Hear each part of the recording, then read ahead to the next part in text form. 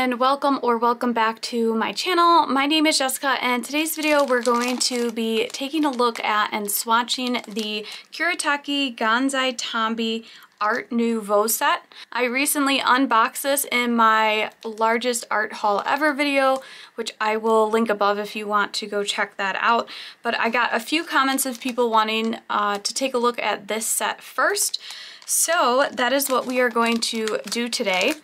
I have originally purchased this set from St. Louis Art Supply. It was a while ago when it was really popular and very hard to find. I took a look at Amazon and it is available on Amazon now, so I will link it in the description below if you want to pick up this set for yourself. I have already prepared a stack of swatch cards and this is all done on some Arches cold press watercolor paper. I've had this paper sitting around and I don't want it to go bad. So I want to start using more professional papers, so therefore I wanted to start filling out swatches on Arches paper. So these are about two and a half by three inches. I do have a line down the side to take a look at how opaque these colors are. I have the brand name. Um, KGT is short for Kuretake Gansai Tambi. The actual color name, the saffron yellow, and then I did list all the pigments underneath because that's the most important part. So I already have a whole stack of all the colors already pre-cut and labeled. So now we're just gonna get into swatching and I will talk a little bit about the colors and the pigments and I will probably switch into voiceover mode for that. Okay, so I think what I'm going to do for this swatch session, so that way we can stay zoomed in, is I will do um, each row in the set of four, I will have the colors out, and then once I finish the row, I will move the colors bring in the next row, and then at the very end we'll look at all the colors together. So to do my swatches, I'm going to be using this 3 quarter inch flat brush from Christy Rice's brush set because this is the largest flat brush that I have and I think the flat brush will be the best for doing these swatches. So I just want to first start off saying that all this information I'm giving you is coming from the Kuretake website itself, and I will have it linked in the description below. This first color is Saffron Yellow, which is made up of PY1, PB15 colon 3, and PY42. Here is a green gold, which is PG7 and PY42. And while it does go on greener, it actually dries slightly brown. So it's more like a warm greenish brown once dry. This is Flax Beige, which is made up of PR101, PBK11, PY42, and PW6. The PBK11 will give some nice granulating effects that you'll see throughout this set. Here is Ecru Beige, which is made up of PB27, PY42, and PW6. When this one is thinned out, it reminded me a little bit like buff titanium.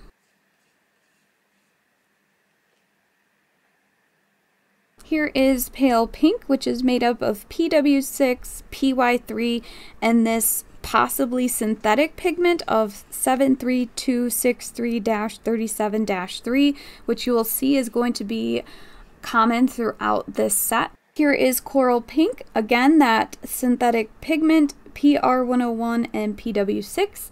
If you know anything about this number, if it's a synthetic pigment or short for another pigment that maybe there's a typo on the site, just let me know in the comments below. Otherwise, I found it pretty strange.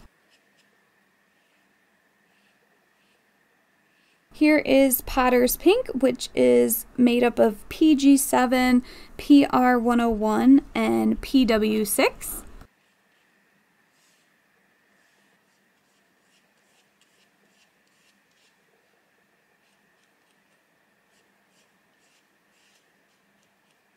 This is Vermilion, which has that strange pigment number PY1 and PW6. This is very vibrant, even once dried.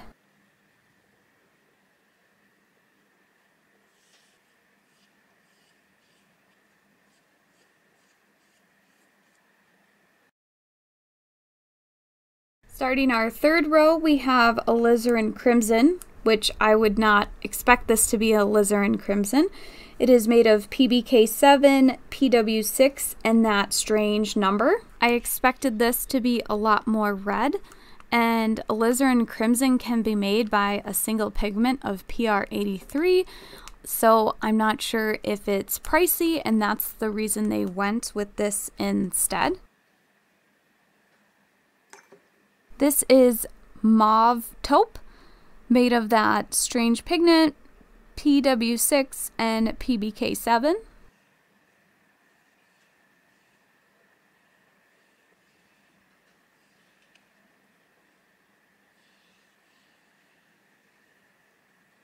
Here is Old Mauve. Again, that strange number, PB27 and PW6.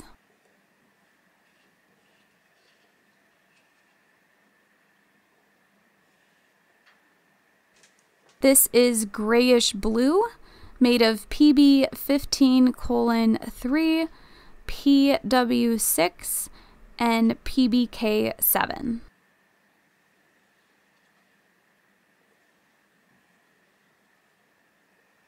I actually really enjoy all four of these colors as a color scheme all grouped together. Next row, we have Cobalt Turquoise Light, made of PY3, PB15 colon 3, and PW6. This is Pale Aqua, made of PY3, PB15 colon 3, and PW6. This is Cobalt Green, made of PG7, PR101, PBK11, and PW6.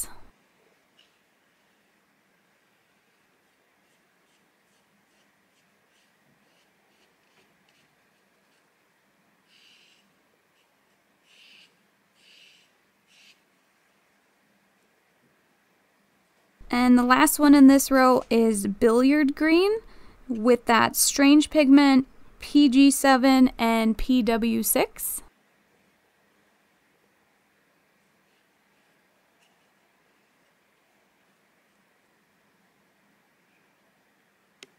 Starting the next row, we have Shadow Green, which again has that strange pigment number PG7 and PW6. This contains the exact same pigments as Billiard Green.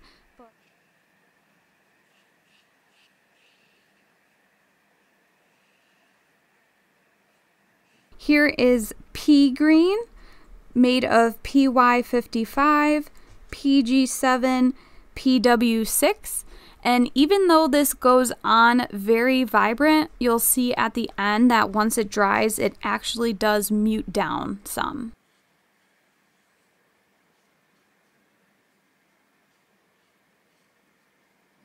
Here we have Ivy Green, made of PG7, PY42, and PW6. Again, it goes on kind of vibrant, but once dry, it does mute down and become less saturated.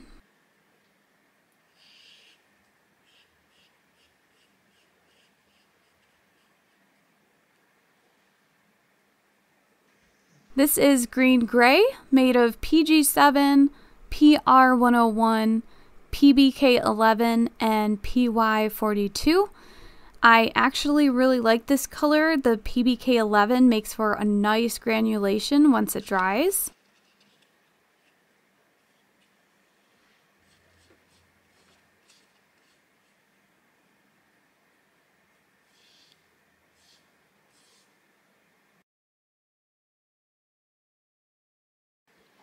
Moving on to the last row, this is beige gray made of PY3, PR101, PBK11, and PW6.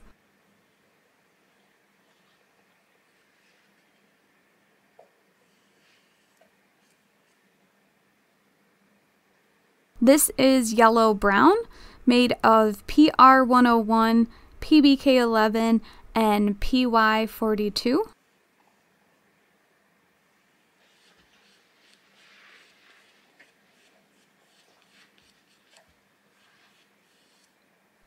This is Mars Yellow, made of PY1 and PR101.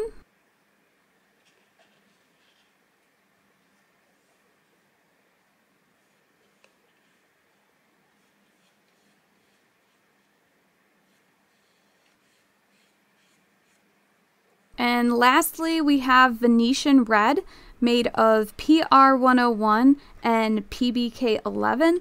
I really like this color. It has really nice granulating effects that you'll see especially once dry.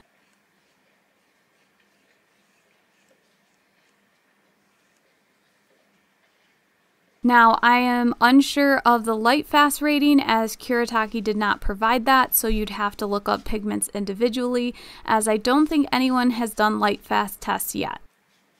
So here are all the swatches all dried out. I will insert some close-up clips here so you can have a better look at them now that they're all dry. Now I'm going to put them in my swatch book that I'm starting and I'd love to go through and compare colors with you guys, but unfortunately this is the first set I actually have swatched out. I have to go back through and swatch all my other watercolors, which I may or may not do videos of. It depends if you want to see it or not, but I definitely want to have them all on Arches watercolor paper, even though I kind of cringe when I say that, and you might too, to use such expensive paper for swatches, but I think I want to start heading towards using more 100% cotton paper. So something else that I wanted to point out really quick is that when I swatched these out, I noticed there was no shiny part of the swatches that I remember there being in the 36 color set when I swatched those out. So I pulled out the swatch sheet that I did for that video and I'm not sure if you can tell but there is shiny parts where there is a lot of paint. And I didn't notice that at all with these swatches on Arches paper. So I did off camera a swatch sheet of the Art Nouveau on the same paper I did these on which is the Fabriano 25% watercolor paper. So it's mainly cellulose. So I did it with the Art Nouveau colors. And again they are shiny in certain parts so I think it has to do with the paper and correct me if I'm wrong but I think when you're using primarily cellulose based paper the binder used in the Gansai Tambi paint which is made up of some animal glue. I think it sits on the surface and creates the shiny parts of the paint, whereas Arches is maybe absorbing it better or dispersing the pigment better. So paper makes a difference, let me tell you. So here is the start of my swatch book. I will need to make a cover here are the Kuretake set that I just swatched. And I'll probably do some reorganizing once I get some more um, swatches in here. But I got plenty of sheets. I got some more Arches paper on the way so I can start filling this up. So if you want to let me know which one of these color or colors was your favorite, let me know in the comments below. That's it for today's video. Be sure to hit like and subscribe if you want to see more videos like this. Thanks so much for watching and I will see you in the next one. Bye!